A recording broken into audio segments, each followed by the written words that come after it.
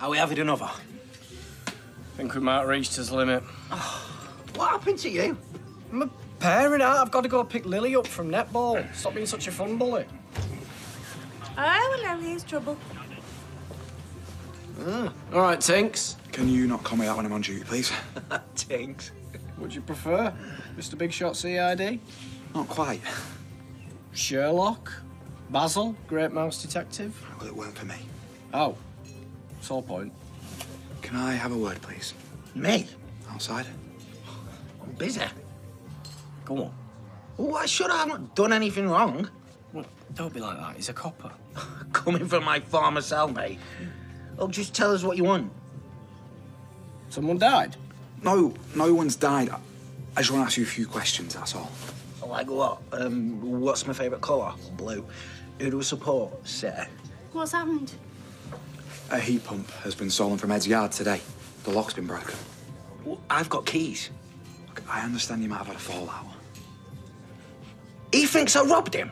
I'm just making inquiries. Oh, you're barking up the wrong tree. Yeah? Sling it up, Tinks. Whoa, whoa, whoa, whoa, whoa. Right, well, if you want to make things complicated, we'll go down to the station, shall we? And I'll ask you questions then, once you've sobered up. Oh, I'm sober as a judge, me. Watch, I walk in a straight line. Foreman!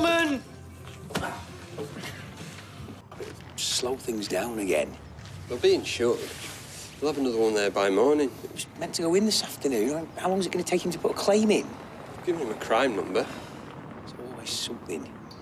And when does building work ever go smoothly? You got any idea who might have done it? Looks like they might have a hunch. Not left me much choice. Well, he's not paid me my wages. That's money I've worked for. I mean, he's stealing from me, not the other way around. Look, if you're innocent, what difference does it make? Just stop shouting at him. This is just because I called you Tinks, innit? You ain't got any proof. He's had about five counts. He's been on the red rack all morning. Oh, this is harassment. I've got witnesses.